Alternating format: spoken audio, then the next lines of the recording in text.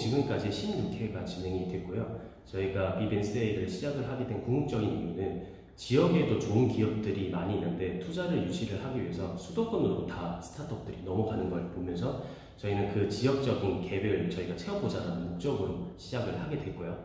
그리고 저희가 16회 정도의 그 행사를 진행을 하면서 실제 저희가 시리즈 엑셀레이터가 직접 투자도 진행을 하기도 하고요. 투자를 한 회사들을 그 다음 라운드로 투자 연계까지 하는 작업을 진행을 했습니다. 그리고 금일 진행된 그 비벤스데이는 어, 신용보증기금에서 진행하는 NEST 프로그램에 연계된 행사라고 생각을 하시면 좋을 것 같습니다. 이 프로그램 같은 경우에는 신용보증기금에서 어, 기업들을 선정을 한 다음에요. 어, 이 기업들에 대해서 융자에 대한 부분들도 들어가게 되고 실제로 저희가 3개월에 대한 기업들의 accelerating 한마디로 컨설팅과 보육 프로그램들을 진행을 합니다. 그리고 오늘 최종적으로 어, 어, 18개, 22개의 투자사들을 모아서 실제 기업들 앞에서, 그러니까 투자사들 앞에서 기업들이 IR 행사를 진행을 한 겁니다.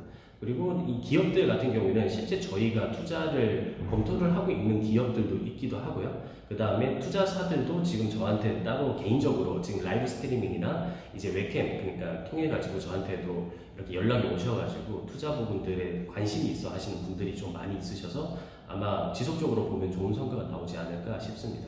그리고 보통 이런 어, 투자 IR 행사 같은 경우에는 단순 IR 행사 어, 단한 번으로 해가지고 투자가 이루어지지는 않고요. 보통 같은 경우에는 어, 최 짧게는 뭐 2개월, 많게는 6개월 이상의 프로세스가 거쳐서 나간다고 생각하시면 좋을 것 같습니다.